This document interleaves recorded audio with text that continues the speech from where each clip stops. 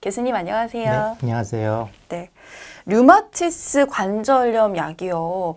이 약이 매우 독해서 부작용이 정말 많다고 하던데 사실인가요, 교수님? 맞는 얘기기도 하고 틀린 얘기기도 합니다. 우리가 음. 불행히도 세상에 어떤 약도 부작용이 없는 약은 없습니다. 그럼 부작용 있는 약을 왜 쓰냐? 그거는 음. 필요하기 때문에 쓰는 거겠죠. 그래서 우리가 그 약을 사용해서 얻을 수 있는 이득하고 생길 수 있는 해하고 비교해 봤을 때 이득이 월등히 우세하다 그러면은 부작용에 대해서 주의하면서 사용해야 되는 것이고요. 뭐 이렇게 비슷하다 그러면 쓰지 말아야 될 것이고 해가 더 많다 그러면 당연히 쓰지 말아야 될 음. 것입니다. 루마스 관련 치료제도 분명히 부작용들이 있습니다. 하지만 그동안 저희가 여러 가지 장기간 사용하면서 부작용이 어떤 게 어떤 빈도로 발생하는지는 많이 밝혀져 있어서 어떻게 대처해야 될지도 많이 알려져 있습니다. 또한 그 약제를 사용했을 때 우리가 얻을 수 있는 이득이 확실히 있다는 것은 분명히 밝혀져 있기 때문에 그 이득을 얻기 위해서 적극적인 치료를 분명히 하셔야 되고 하지만 그 와중에서 생길 수 있는 부작용에 대한 대비도 역시 필요합니다.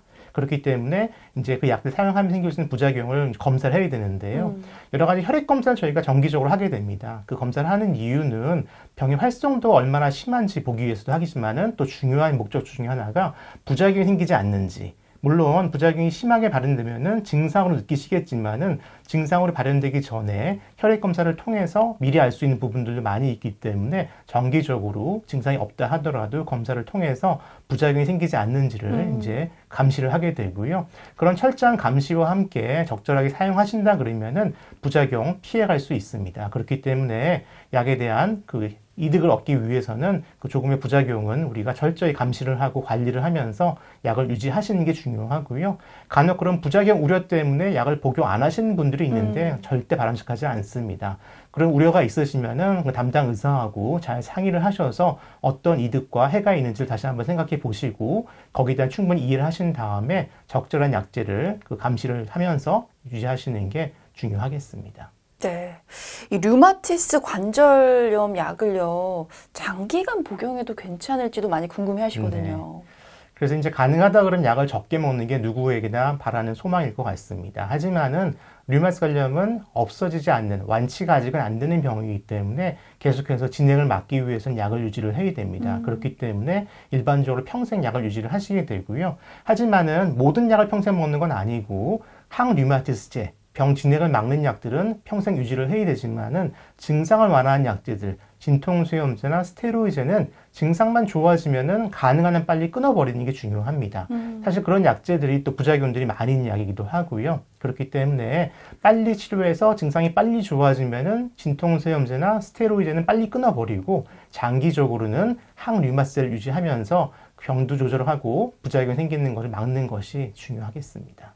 네. 마지막으로 이렇게 먹는 약 외에 또 다른 치료법은 없나요, 교수님?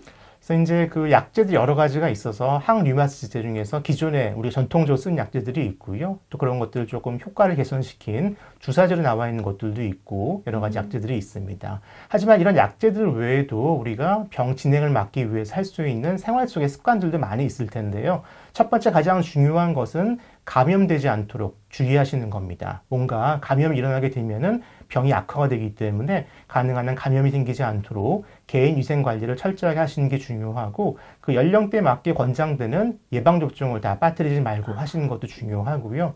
또 이 단기적으로 병이 진행이 되면서 이제 그 기능 소실이 생길 수 있기 때문에 적절한 관절의 운동 범위를 유지할 수 있도록 운동하시는 게 중요합니다. 또 운동하시라 그러면은 뭐 무게 드시고 기구 이용하시고 생각하시는데 음. 그런 거보다는 스트레칭 위주의 운동이 중요하시고요. 항상 유산소 운동, 걷는 거, 산책 같은 거 하시는 거 중요하고 스트레칭 하시는 거 중요하고 항상 운동하는 과정에서는 가능한 한 관절에 힘이 안 가도록 무게가 가해지지 않도록 주의하시는 게 음. 중요하고요. 항상 힘들지 않은 범위 내에서 하셔야 됩니다. 또 운동하시게 되면은 열심히 해야 되니까 시간 정해 놓으시고 하시는 분들도 있는데 그건 바람직하지는 않고요. 본인이 편하게 할 수 있는 범위 내에서 꾸준하게 하시는 게 중요하기 때문에 그런 유산소 운동을 유지하시는 게 상당히 중요하겠습니다. 네. 잘 알겠습니다. 오늘도 류마티스 관절염에 대해서 한양대병원 최찬범 교수님과 함께 했습니다. 감사합니다. 네, 고맙습니다.